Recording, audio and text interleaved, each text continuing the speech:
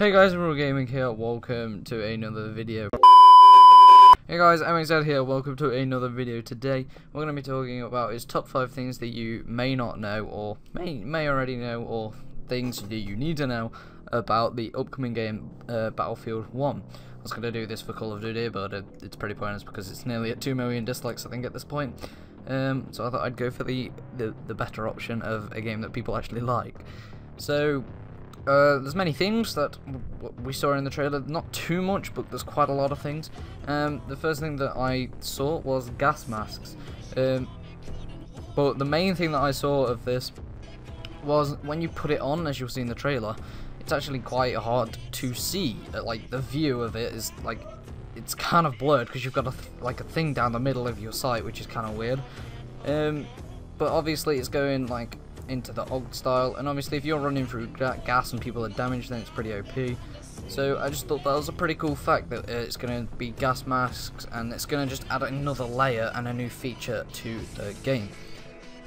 And number four, we have melee combat. Now there was a lot of um, this in the trailer, and everyone was obviously uh, excited about it because it did look, in fact, very cool. Um, they've kind of fleshed out the melee weapons, and every melee weapon is different. So some weapons will be heavier and slower, but they will obviously deal a lot more damage compared to ones that are lighter and faster to move, um, which kind of just. It, I don't know, it just makes it kind of more fun because you have to learn which ones to play with, which ones suit your style better, and things like that. Um, some guns also have the option for a bayonet, as we saw when the soldiers were in the trenches on the trailer, um, which will probably deal like a focus charge that you can run at and stuff. But the main ones that we saw in the trailer was a spade, a sword, um, a spiked club or mace, and there will be many more in the actual game.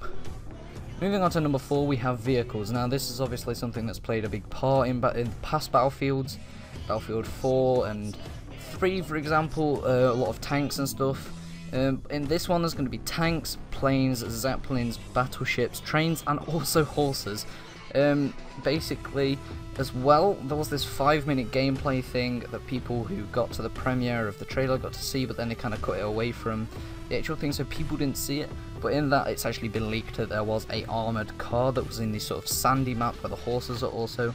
So I don't really know how that's going to work out, horses running at an armoured car, but um, yes. But um, also, I want to point out that they've kind of made it so that um, all the all the vehicles are completely different. It's kind of like the melee weapon, so tanks will be slower um, and stuff like that, but they will deal more damage compared to other things, which obviously brings another layer to the game because you're going to have to learn all the things, what's best, what fits your style, and things like that. Moving on to number three, we have classes. Now, this is a little different from normal, actually, and this is also a thing that was shown in the five-minute gameplay at the premiere.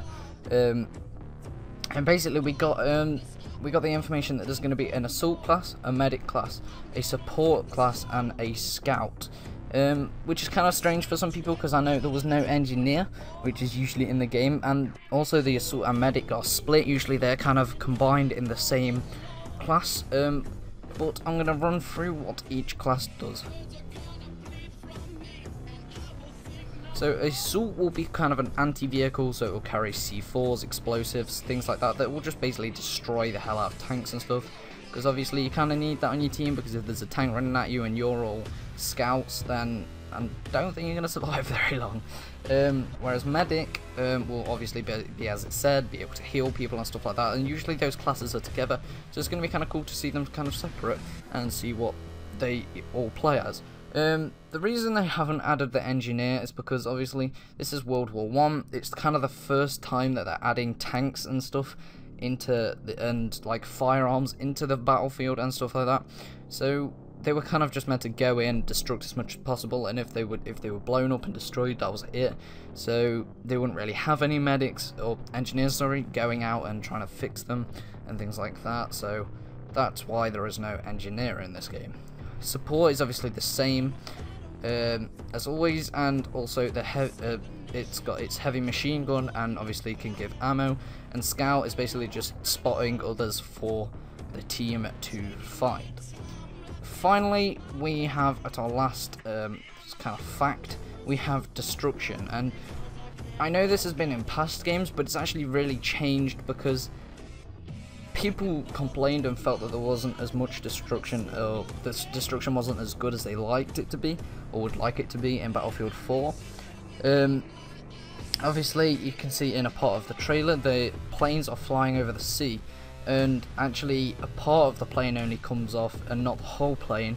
And they've actually said in this 5 minute gameplay thing that even though part of the wings come off, the plane is still flyable, um, but the handling will change. So that's actually really, really cool. So if sort of a part of the plane comes off, you're going to have to try and change your movement and controls so you can actually, well, control the plane and try not to crash into the ground and try and land it possibly. Uh, but yeah guys, that is all from me. They are top 5 facts that you need or may not know about Battlefield 1. But that is all from me, so please like, subscribe, and Amazon